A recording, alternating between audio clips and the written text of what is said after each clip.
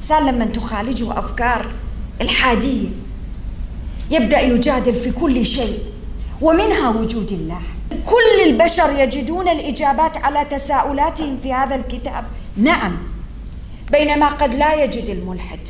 أنت تقول أن في الله شك في وجوده شك وعندك شك. اقرأ القرآن.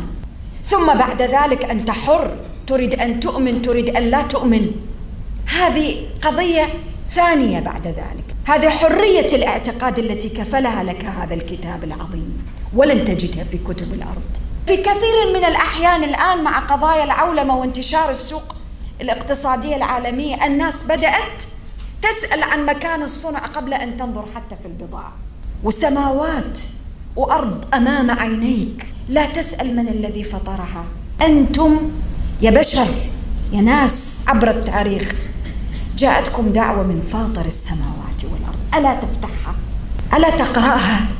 يدعوكم. إذا الدعوة موجهة بالاسم بالاسم. يدعوك للإيمان وهو الغني الحميد عنك. إذا لماذا يدعونا قال ليغفر لكم من ذنوبكم. ولماذا ربي يريد أن يغفر لي؟